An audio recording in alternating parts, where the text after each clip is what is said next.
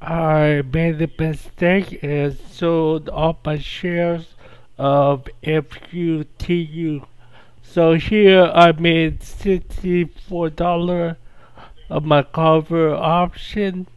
I thought I would sell one the contract on Futu, but but I did was a mistake and but here I confirmed and sold off all my shares when I thought I sold one cover option to collect my premium.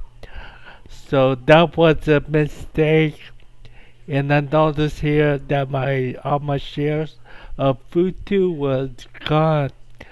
So I was kind of sad and disappointed because I didn't collect my premium.